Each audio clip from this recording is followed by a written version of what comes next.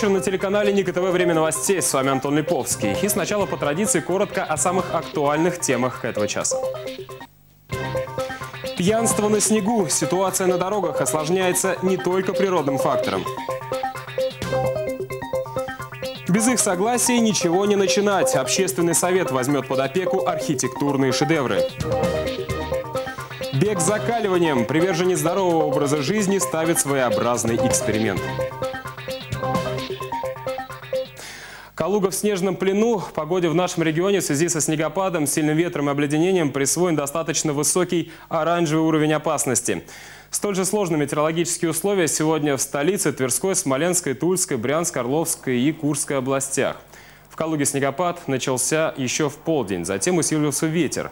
Как сообщили нам в городской управе, сегодня днем борьбу с обильными осадками вели 70 единиц уборочной техники. Но все же из-за обилия снега и плохой видимости ситуация на дорогах была очень сложной, но большого количества аварий удалось избежать. Сегодня еще все же день выходной, и многим жителям Калуги машины не понадобились. Городской ГИБДД на 7 часов вечера зарегистрировало чуть больше 40 ДТП. Это статистика обычного буднего дня. Состояние дорог сотрудники полиции оценили на удовлетворительно. По их мнению, работу чистящих машин сводит на нет непрекращающийся снег. Во второй половине дня на дамбе Ячинского водохранилища не разошлись легковушка и фура с брянскими номерами. Из-за этого на выезде из города образовался большой затор. Отмечу, что во всех авариях ни погибших, ни пострадавших нет. По словам синоптиков, ухудшение метеорологической ситуации связано с изменением погоды. На смену морозам идет оттепель. В ближайшие дни будет тепло и сыро, температура продолжит повышаться, а снегопады сохранятся. Тяжело, конечно. Э, Пробки на основных улицах. И, ну, ну сами видите, какая Удалось погода. где сегодня уже поездить? Ну, сегодня были практически везде. Ленина улице, э, Малинники, Силикатный. Ну, в принципе, везде дороги. Такие, как и в городе. Я днем ехал на правый берег, снега не было, сейчас он пошел. Пока проснуться, пока Новый год допразднуют. И все. В Москве это чистить, но здесь я не видел даже больше машин. Даже по городу. Сложно. Конечно, сложно. Аварийная обстановка? Есть, там по дороге много аварий есть. Вот здесь, в Калуге. Зима, конечно, чистить надо, но у нас не очень работает, наверное, все. Праздники еще продолжаются. Сильнее, чем снег, ситуацию на дорогах осложняют нетрезвые водители. В праздничные дни их особенно много. По данным ГИБДД, только за 8 дней Нового года 164 человека сели за руль, выпив спиртного или отказались от прохождения медицинского освидетельствования. Любителей погонять под градусом не пугает ни возможный крупный штраф и лишение прав, ни уже произошедшие трагедии. А ведь достаточно вспомнить о двух ДТП, которые произошли в первые дни января.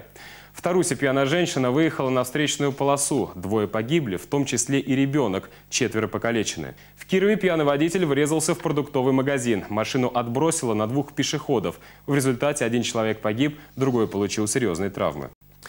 Арсения Яценюка больше нельзя воспринимать всерьез. Об этом написал на своей странице в Твиттере глава Международного комитета Российской Госдумы Алексей Пушков. Это реакция на заявление украинского премьер-министра, которое он сделал накануне во время рабочего визита в Берлин. Яценюк заявил, цитирую, мы э, все очень хорошо помним советское вторжение в Украину и Германию, и вторжение нужно, э, такого повторения событий нужно избежать. Вот такая трактовка истории вызвала шквал комментариев в поддержку Пушкова в соцсети. Абсурдное высказывание, очередную провокацию со стороны Киева комментируют сейчас и многие политологи. Яценюк, э, делая подобные заявления, которые направлены на то, чтобы вбить э, клин между Россией и Европой с исторической точки зрения, то есть он здесь фактически заявляет, что э, Советский Союз в середине 20 века выступил не спасителем Европы а от нацизма, а наоборот агрессором. Он здесь как раз продвигает ту точку зрения, которая характерна для вот англосаксонской группировки в мировой элите. С особой болью воспринимают новое трактование истории украинскими властями непосредственные участники тех событий. Николай Лин – один из тех, кто защищал нашу родину от немецко-фашистских захватчиков. Недавно ему исполнилось 94, но это не помешало выпустить книгу «Записки сапера», где без прикрас рассказана вся правда о войне. Он рано потерял мать и с самого детства привык быть ответственным за окружающих. Сначала за братьев и сестер, а потом за всех, кого встречал на жизненном пути. Николай Ильин родился в Сибири, но армейская служба заставила солдата помотаться по всему Союзу. Война застала его на пограничной заставе неподалеку Львова. К тому времени Ильин уже командовал отделением саперов. По его словам, пограничники предчувствовали неладное задолго до начала боевых действий. Немецкие самолеты почти каждый день по, по границе или даже нарушая немного границу, летали по это. Ну, мы чувствовали, что вот не сегодня, завтра война. Глаза начинают блестеть, а в горле ком. Ветеран не может без эмоций вспоминать о предательстве, с которым столкнулся на фронте. В то время как солдаты голодали в окопах и ежедневно прощались с жизнью, некоторые жители перешли на сторону оккупантов и вышли встречать фашистов с хлебом и солью. Причем такие случаи были не только на Западной Украине, но и в Киеве. Отдели лучшие платья, понимаешь, встречали, понимаешь, в Киеве. Николай Ильин прошел дорогами войны от первого и до последнего дня. Как сапер он всегда находился на переднем рубеже боевых действий и ни разу не допустил ошибки. Доказательство тому – тысячи спасенных человеческих жизней и десятки боевых наград. Надписи «Проверено, мин нет, Ильин» можно увидеть на многих зданиях и в Донбассе, и в Белоруссии, и в Прибалтике, и в Восточной Пруссии. А недавно Ильину позвонили из Севастополя. На одном из соборов нашли его полустертую надпись и намерены намерены ее отреставрировать. Это еще одно напоминание о войне и о том, что каждый квадратный метр земли пропитан кровью советских солдат. Ввиду всего этого ветерану особенно обидно наблюдать за событиями в соседнем государстве. Что это такое? Это национализм. Что это такое? Значит, все должны говорить по-украински. О, что это? А целые области, возьмите Луганскую, дальше Днепропетровская, дальше, значит, вот, э, Донбасс. Все это ж от России взяли и присоединили к Украине. Рассказывать об истории и о том, какой ценой досталась победа над фашизмом, ветеран считает своим священным долгом. Недавно свет увидела его книга «Записки сапера», в которой он без претензий на красивые формы рассказал о страшных событиях, свидетелем которых стал. Всю жизнь с детства всегда гордился своим отцом. Таких отцов ну, редко бывает. Я всегда его уважал. Как выжил, не сломался и не сошел с ума. Владимир Ильин утверждает, что его отец – неисправимый оптимист.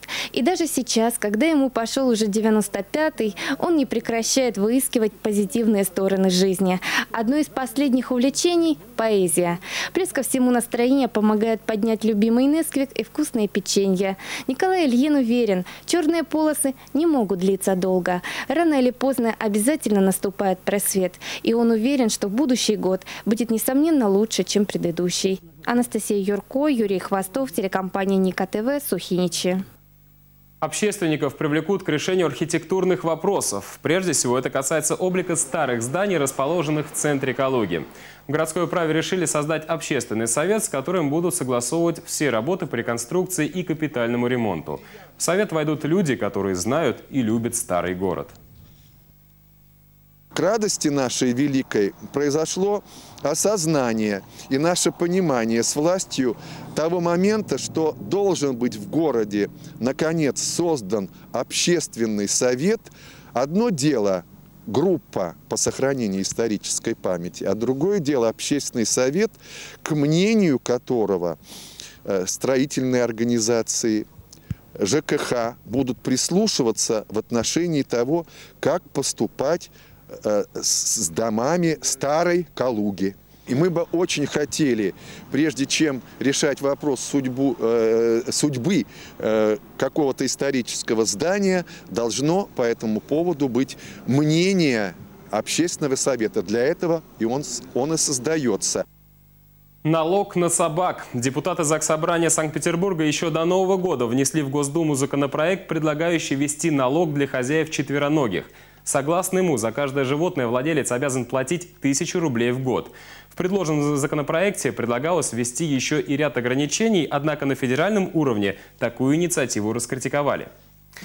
Затем, как живется четвероногим в нашем регионе, в течение всего года э, наблюдала наш корреспондент Ирина Журавлева, ярая зоозащитница и владелица «Золотистой миры».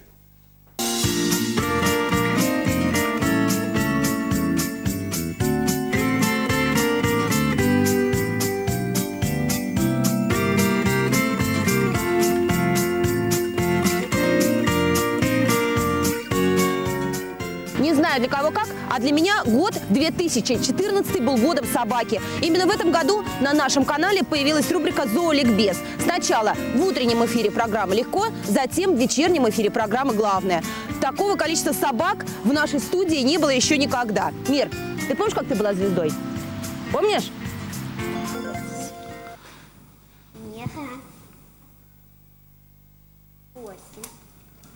Ух ты, здорово. А под музыку, наверное, будет красиво.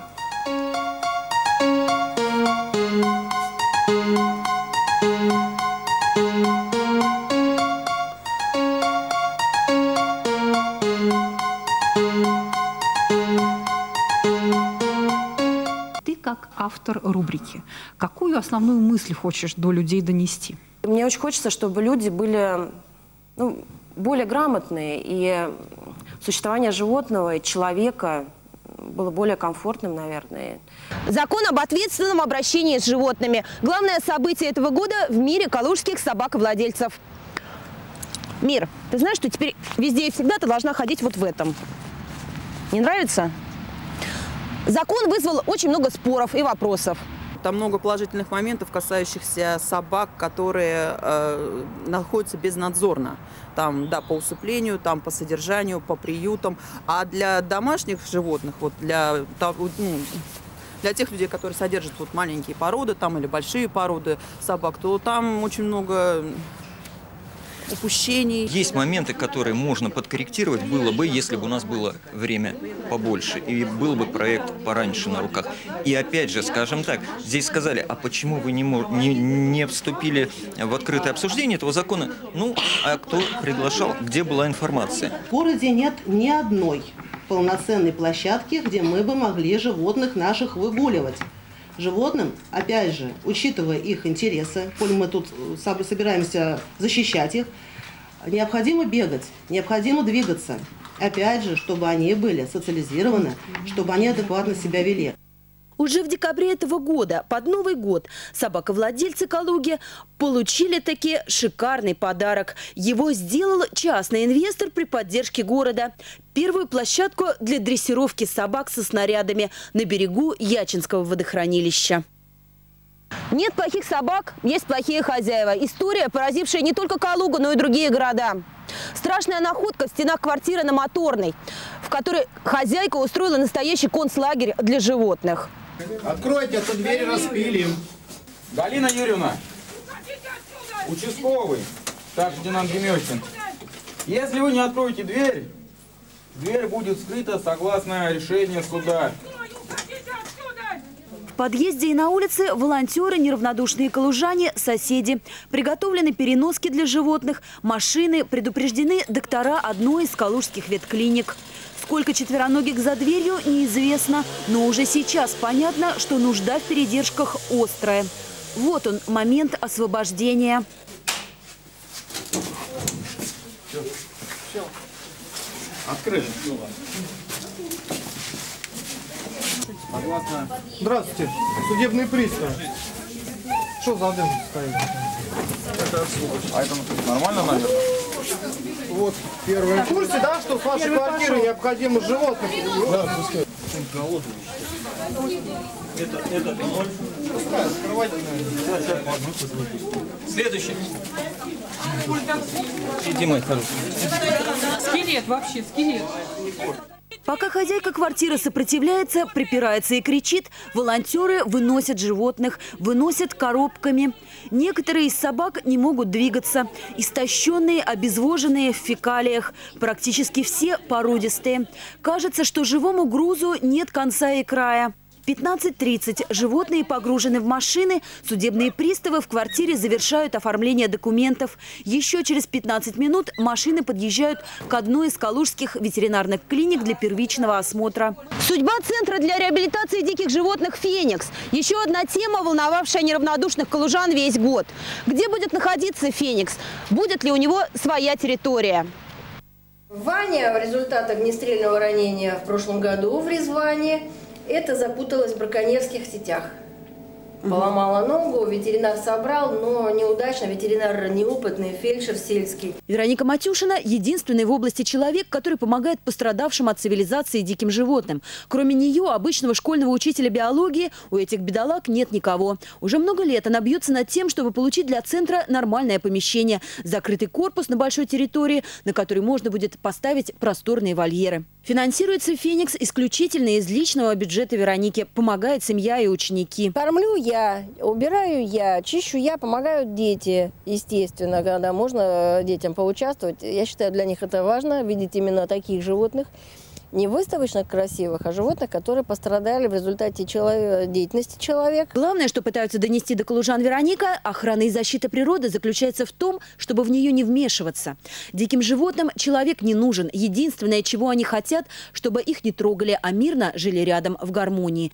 Мира в этом году получила свой первый титул, стала юным чемпионом России. Выставки животных, для чего они нужны, что они дают? Мы разводим собак для какой-то цели. Э, люди берут их просто, да, подержать, но чтобы это животное отвечало по здоровью, по экстерьерным своим каким-то качествам, по нервной системе, по приспособленности, да, есть собака-компаньон, есть собака для спорта, люди, которые берут чисто для спорта заниматься. Но тем не менее, чтобы ее применять в спорте, она должна иметь ножки, ручки, голову, хорошую зубную систему, чтобы задерживать нарушения жителей. Породность – высшее проявление породистости. Именно на выставке, которая является зоотехническим мероприятием, животное получает либо оценку «отлично», титул и звание, либо дисквалификацию и не допускается к разведению. Последний момент очень важен. У нас есть такие две категории, когда заводчики-профессионалы и разведенцы. Разведенцы самое страшное, когда э, люди получают всего одну оценку на выставке и потом начинают вязаться с кем попало и как попало. Поэтому отсюда получается не неадекватные собаки. Не собаки виноваты, виноваты люди, получается, в этом момент. А, заводчик настоящий, он отслеживает все свои пометы он смотрит, что э, подошло, что не подошло. Потому что, вы понимаете, каждая вязка – это на самом деле очень сложно. На протяжении веков люди формировали породы, отбирая различные качества, чтобы существование человека и собаки рядом было комфортным. Приобретая щенка у разведенцев, мы позволяем этому кропотливому труду пойти на смарку. Породные животные получали на выставках титулы, а беспородные искали дом. Впервые в этом году в нашем городе прошла выставка раздача кошек, организованная калужскими волонтерами добровольческих движений «Четыре лапы» и «Зоосоюз».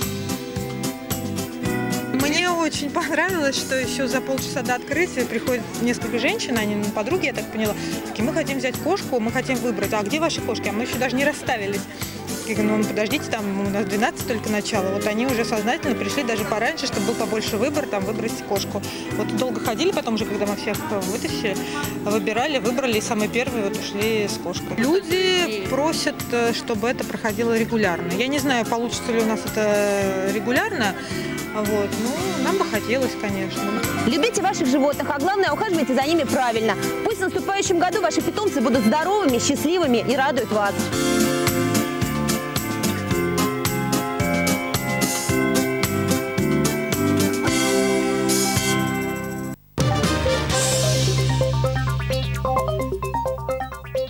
Мороз и солнце – день для лыж. Пока погода позволяет, любители проложить новые маршруты и пробежать по уже накатанным не упускают возможности и пользуются новогодними праздниками по полной. Но, как показывает практика, не все знают, какие лыжи купить, где кататься и во сколько это все обойдется семейному бюджету. Узнать обо всем в подробностях решила наша съемочная группа. Пора вставать на лыжи, решила моя коллега Анастасия Юрко. Привет из советского прошлого или недостойно забытый пункт, где можно взять во временное пользование даже утюг. Бытовой прокат в Центре экологии предлагает самые демократичные цены на технику, туристический коврик, палатку и, конечно же, лыжи. Те, кто пользуется прокатом, все удивляются, что мы еще существуем. Хотя у нас один пункт проката из 13 остался. Берите паспорт с калужской пропиской и отправляйтесь в прокат. Вот такая пара с ботинками вам обойдется в 75 рублей в сутки или почти в тысячу, если возьмете за месяц. Детский зимний инвентарь еще дешевле. Пользуйтесь аккуратно и не забудьте вернуть срок, чтобы не платить неустойку. Если вы уже отвыкли от коллективного, то вам тогда в магазин. Главное не затеряться в многообразии. Здесь лыжи и ценник на любой вкус и кошелек. Есть и более 30 тысяч рублей, но пугаться рано. Если человек э, делает первые шаги, то, конечно, не стоит сразу смотреть на такие цены большие. То есть можно ограничиться лыжами буквально за полторы тысячи. Если это будет классический ход, ход по лыжне, э, например, кататься в бару, э, лыжи существуют для этого, опять же, с насечкой, то есть чтобы не использовать лыжную мазь, чтобы не было отдачи назад. И в лыжне при достаточном количестве снега на них довольно удобно и комфортно кататься, так скажем, передвигаться. Что касается обуви, то она под стать лыжам. Самые дешевые ботинки стоят от 1000 рублей. Средний вариант – около трех за пару. Ботинки с некой манжетой для конькового хода. Они немного дороже, но это уже немножко позволяет фиксировать ногу в правильном положении и научиться даже просто коньковому ходу в них реально легче. С лыжами или без лыж новичков, любителей и профессионалов всегда ждет орленок. В свободное от чемпионата время здесь можно кататься, пока не надоест. И даже ночью. Со своим инвентарем бесплатно. Лишь символическая плата за свет. Аренда обойдется в 200 рублей в час. Кто-то попробовал у нас, в следующий раз покупают лыжи свои и катаются на своих лыжах. Вот. Ну и у нас э, как бы клиентов не убавляется, а наоборот прибавляется. Мы очень часто приходим сюда кататься, нам здесь очень нравится, замечательная база, э, совершенно доступна и э, качественные горки. Есть в Калуге и место для катаний, которое с удовольствием посещают даже искушенные. На горнолыжный комплекс можно приехать налегке, одеться, обуться и вдоволь насладиться зимним экстримом. Комплект лыжного оборудования в будни обойдется в 550 рублей, а в выходные чуть дороже. Плюс надо будет заплатить за подъемник. Любой желающий может прийти, абсолютно неподготовленный человек. Вот, для этого есть прокат, где он может взять лыжи, борт, палки, там, сноуборд, все что угодно и также взять инструктора, который будет его обучать. И я в основном я езжу сюда из Москвы, то есть когда я приезжаю из Москвы отдыхать сюда, я иду сюда, потому что в Москве времени на горные увлечения у меня нет. В горнолыжном комплексе четыре горки, которые каждое утро тщательно готовят. Спортивное развлечение здесь найдется каждому. Большой склон и лыжи осилить нам пока не под силу, но прокатиться на таком тюбе, пожалуй, может каждый. Поехали!